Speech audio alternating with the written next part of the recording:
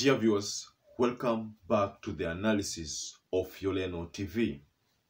Now, Sabina Chege and Kanina, Kanini Kega seems to have been caught between a hard rock and a hard place.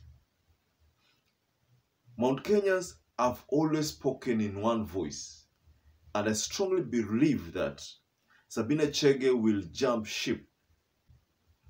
And that is because of the recent moves that Rigathi Gachagua has been making to unite all the Manu- all, all Mount Kenya leaders. to prepare them so that never again as a community tutapatikana tumekaa bila mpango. So tutapanga.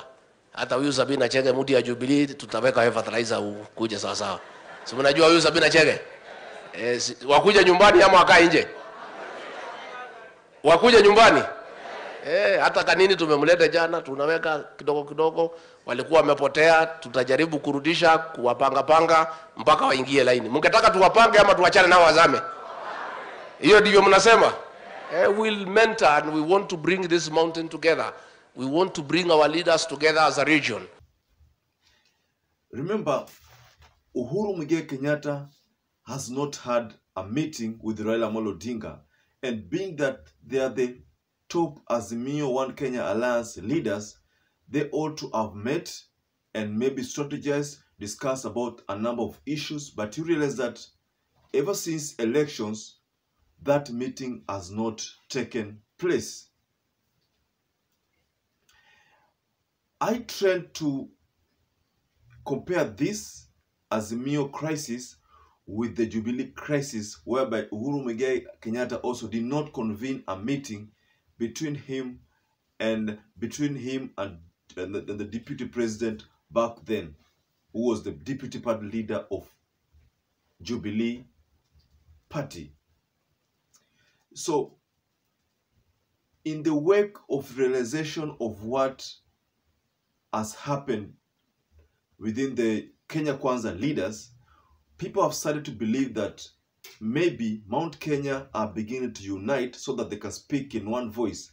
And should not, that unity be realized that it means they will all be in one political formation. From the look of things, definitely that formation is not going to be Jubilee and it's not going to be Azimio formation. But from the recent moves that Rigathi Gachagua has been making is to woo these leaders into the Kenya Kwanza fraternity and in specific and in- into the Kenya Kwanza alliance and specifically UDA. So Sabina Chege was in attendance in that meeting that uh, was convened by Rigathi Gachagua, and uh, Rigathi Gachagua would Sabina Sabina Chege to join the to join UDA so that asiachwe nje, asiachwe gizani. You know, he was talking to the people of Mount Kenya, asking them for permission or asking them whether that was the right thing. But the people told Rigathi Gachagua that that is the right move, that Sabina Chege should join. So why am I thinking that Mount Kenya will be united?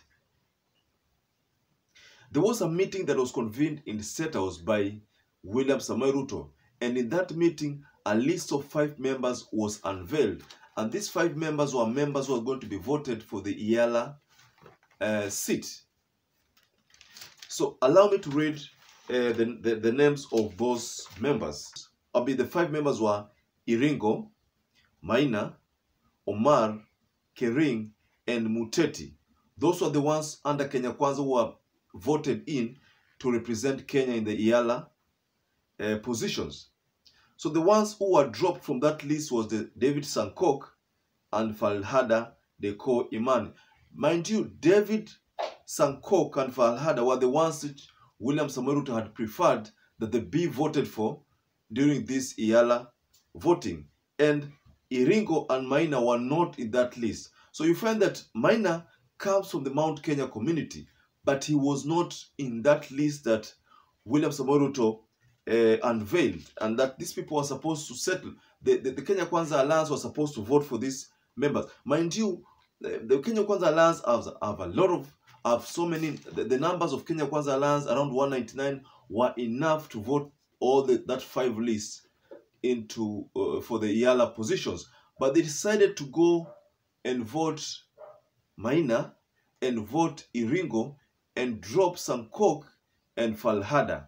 They even went to an, extent of voting for Kanini Kega, who counts Mount Kenya. So in that meeting that was convened by Rigathi Gachagua, uh, the, the, not set of the, but the, the second meeting, Rigathi Gachagua told the people of Mount Kenya that he was there to represent their interests. We have our young leaders, and I want to give a commitment to the people of this region. The people of this region, we are mentoring our young leaders, and we are preparing them for leadership and for great things ahead, because this is our resource, is our future, and we have a responsibility to prepare them, so that never again, as a community, tutapatikana tumekaa bila mpango. So tutapanga. So I think that was a strong message to William Samoei Ruto that look here, I as Rigathi Gachagua am only representing Mount Kenya. So that was the message that Rigathi Gachagua conveyed to William Samoei Ruto directly. There was no hiding the cards, ladies and gentlemen, during that meeting. Rigathi Gachagua made it known that his interest was Mount Kenya. So I think the next move that, that most people are beginning to, to feel is going to happen is that perhaps Rigathi Gachagua is going to unite with Uhuru Muigai Kenyatta. Because mind you, there is a DRC peace talk in Kenya that is going to be held this month.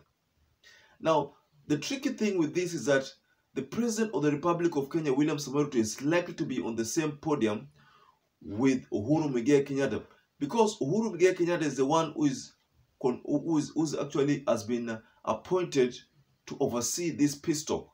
So, in a nutshell, William Samoei Ruto will be in attendance. I think that will be the first meeting that William Samoei Ruto comes.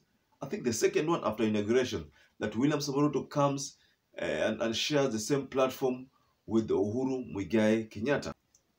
You've seen the move by the parliamentarians to reject a list that William Ruto had fronted. I myself term that move as a as a, a way of defying the president. So Mount Kenyans are already showing William Ruto that if we could de- we could defy our own Uhuru Muigai Kenyatta, who was the president of the Republic of Kenya, why can't we defy you? So they decided to defy William Samoei Ruto's list and went for a list that Rigathi Gachagua and opted for. So that is already a supremacy battle between Rigathi Gachagua and William Samoei Ruto. So Rigathi Gachagua is directly telling William Samoei Ruto, look here, that in Mount Kenya, I'm the person, I'm the boss here. You are the president, but I'm the boss of Mount Kenya. So he rallied Mount Kenya people to vote for Iringo and Maina and not to vote for Falhada and David Sankok. So this was a strong message to William Samoei Ruto.